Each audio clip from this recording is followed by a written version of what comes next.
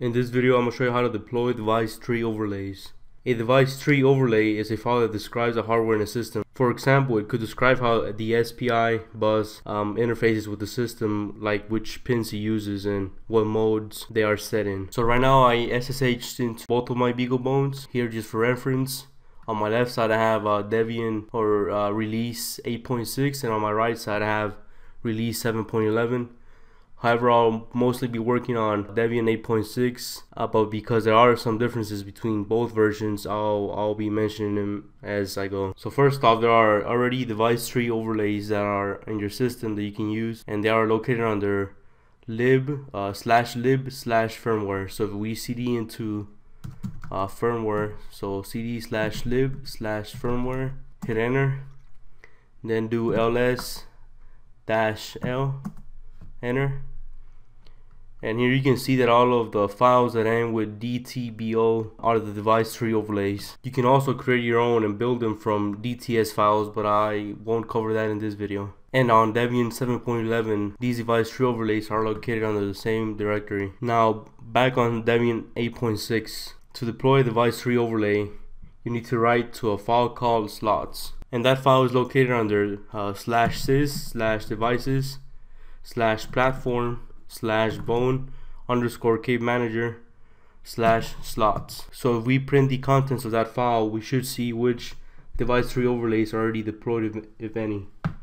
So let's go to the beginning of the command line and uh, use the command cat to print the contents of the slots file, hit enter. And here you can see that currently the device tree overlay that I have deployed is the BB-PWM0 device tree overlay. And I know that it is deployed because it has an L here. And on Debian 7.11 the slot file is located in a different directory. And that directory is slash sys slash devices slash bone underscore kmanager.9 slash slots.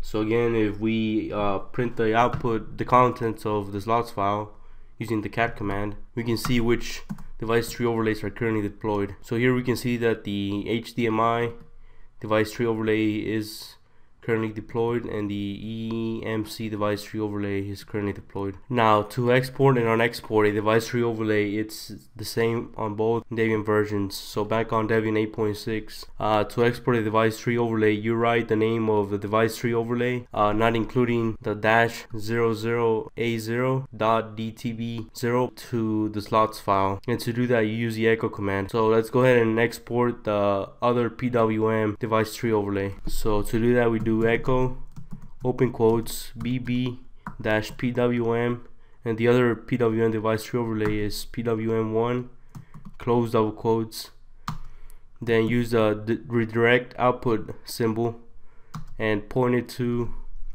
uh, the slots file. Hit enter. And if we print the contents of the slots file we should see that the bb-pwm1 device tree overlay was exported. So I'm gonna use the up key to go to my previous command hit enter.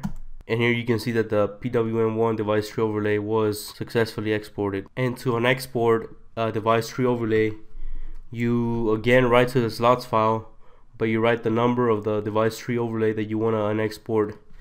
So we do use the echo command again then dash the number of the device tree overlay that we want to unexport. So I'm gonna go ahead and unexport uh, the PWM0 device tree overlay so to enter the number 6 use a redirect output sign.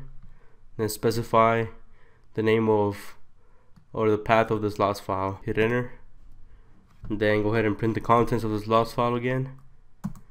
And you should see that the PWM0 device tree overlay was uh, removed. Now sometimes when you unexport a device tree overlay, your SSH window might close out. And that's an issue that I saw also on Debian 7.11 and when that happens uh, if you SSH into it again and try to uh, do something in it uh, you won't be able to. You're just gonna freeze. So if that ever happens go ahead and hit the reset button on the uh, BeagleBone Black. So just to show you let's go onto Debian 7.11 and uh, I'm gonna go ahead and cd into my lib-firmware directory. And I know that this issue happened whenever I wanted to export the AM33XX underscore PWM uh, device tree overlay. So let me just uh, see the name of it. Uh, so this file whenever I, I unexported this file the SSH window would close out on me and then if I wanted to open it again it would just be frozen. So I'm gonna go ahead and uh, do that just to show you there. So I went ahead and exported the that file. So let me print the contents to make sure it was exported so now if I wanna if I try to ex unexport it you should see the whole window close out. So if I hit enter there the window closed out. And now if I try to reopen it again so I'm signed in. And if I try to let's just print out the contents of the slot file again hit enter you should see that I don't get anything. It just kind of froze so if that ever happens just go ahead and hit the restart button on your BeagleBone Black. Now another way to export device tree overlays is by using the command config-pin so let me clear the screen. If we type in the command config dash pin then let's just type dash dash help slash yeah dash dash help enter. We should see that here it tells us that to export a device tree overlay we type in the command config-pin followed by the word overlay followed by the name of the device tree overlay that we want to export. So right now we have the PWM1 device tree overlay exported.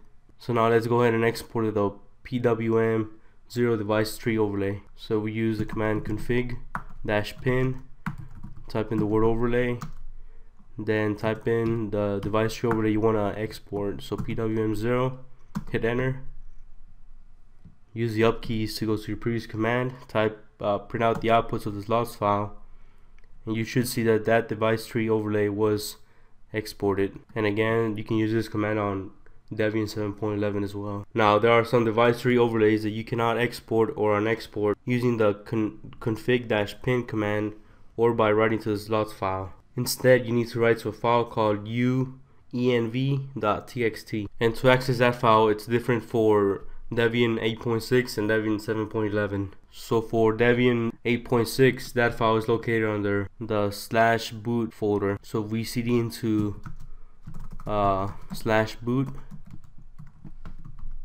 hit enter, then type in ls, you can see that here's the file that I was talking about. So let's go ahead and edit that file. And to edit it let's use uh, vim. So type in vim then dot slash for current directory then type in the name of the file uenv.txt hit enter. And here you can see that there are several lines that you can comment or uncomment.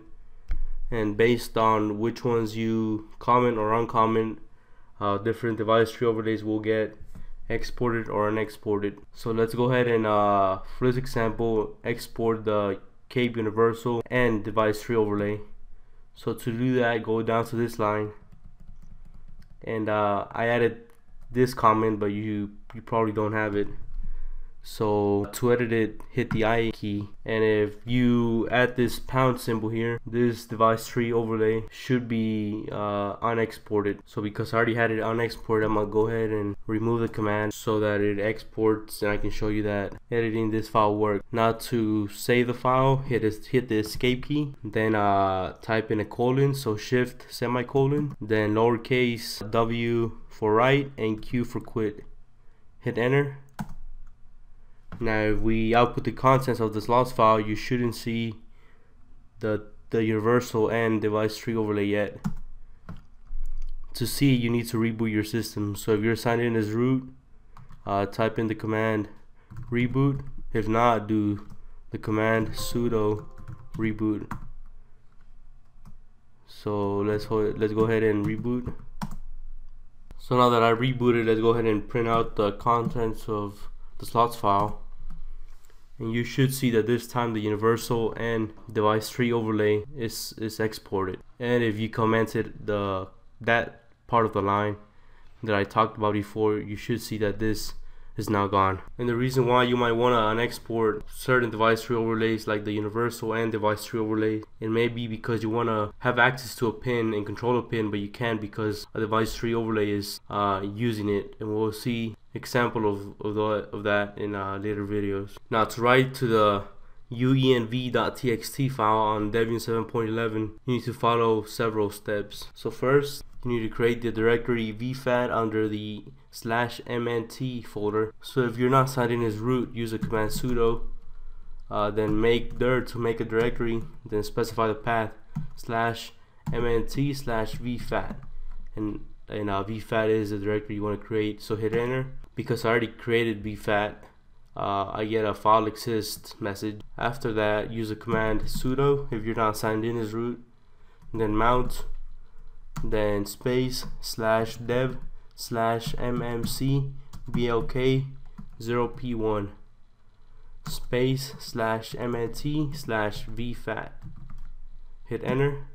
Now if we cd into the vfat folder, we should see there the uenv.txt uh, file to to edit so let's cd into that file into that folder cd mnt slash vfat let's do ls to print out all the files there.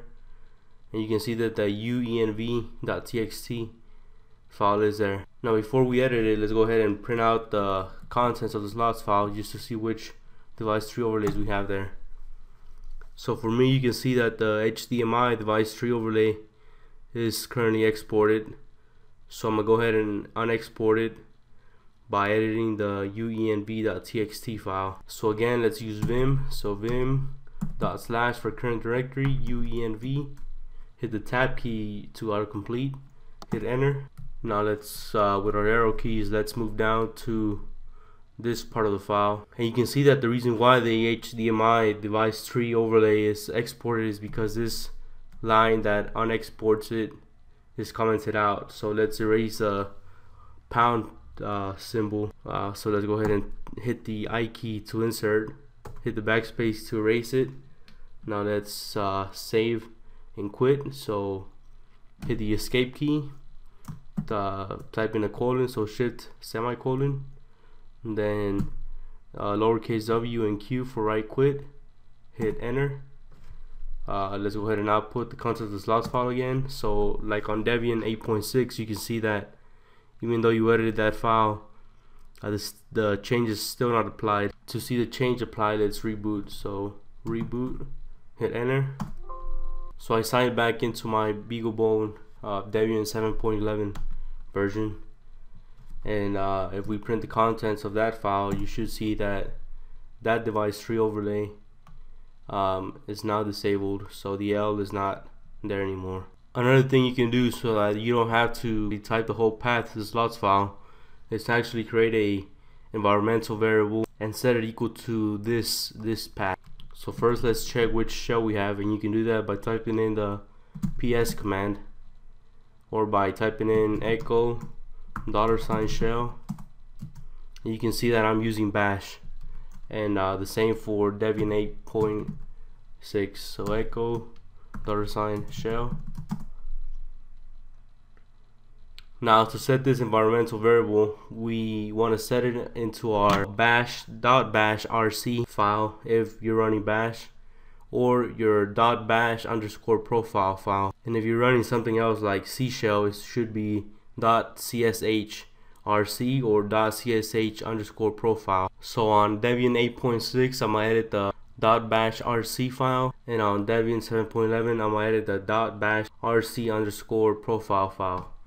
And I'll explain the difference between both of the files in a minute. So let's go ahead and clear the screen. So those files are located in your home directory. Now to see the those files type in the command ls dash a and the dash A means uh, show hidden directories so any or hit show hidden files so any file or directory that starts with a dot is a hidden file or directory so on Debian 7.11 I'm gonna edit the bash profile file so I'm gonna use vim.